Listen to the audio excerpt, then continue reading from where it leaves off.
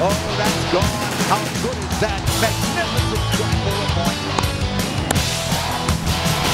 Well played. Pakistan के fast bowler Umar Gul ने हर किस्म की क्रिकेट से रिटायरमेंट का ऐलान कर दिया। उन्होंने 47 टेस्ट 130 वनडे और 60 टी ट्वेंटी इंटरनेशनल मैचेस में पाकिस्तान की नुमाइंदगी की। 36 साल की उम्र में क्रिकेट को अलविदा कहने वाले उमर गुल ने कौमी टी ट्वेंटी में आखिरी बार बलूचिस्तान की नुमाइंदगी की। उमर गुल को मैच के अख्ताम पर बलूचिस्तान और पंजाब की टीम के खिलाड़ियों ने गार्ड ऑफ़ ऑनर भी पेश किया। मैच के बाद गुफ्तगु के दौरान रिटायरमेंट के हवाले से बात करते हुए उमर गुल कई बार आपदीदा हुए। और अपने जज्बात पर काबू ना रख सके। उन्होंने कहा कि वो क्रिकेट छोड़ना नहीं चाहते, लेकिन एक दिन सबने जाना है। ये एक मरला है जिससे हर खिलाड़ी को गुजरना होता है। स्टिल एक पैशन था छोड़ना नहीं चाहता था, लेकिन ये है कि होता है एक दिन सबने जाने जितने भी हमारे पास में जितने भी लेजेंड है, जितने भी स्टार्स है, ये एक प्रोसेस है और इस प्रोसेस के थ्रू सबने गुजरना है। फ़र्स्ट ऑफ़ ऑल पीसीबी का थैंक यू करूँगा कि जिन्होंने थ्रू आउट मेरी करियर लाइक का मदर मुझे फ़ीड किया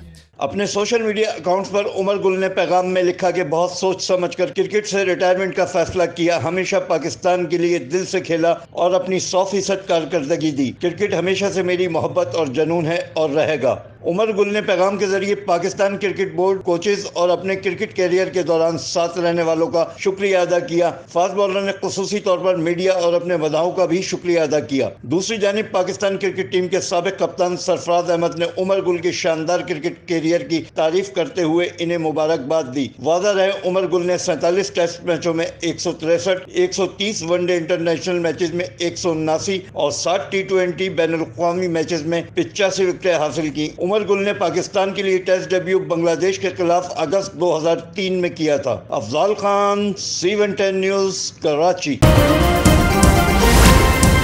C one ten news खबर की असल खबर।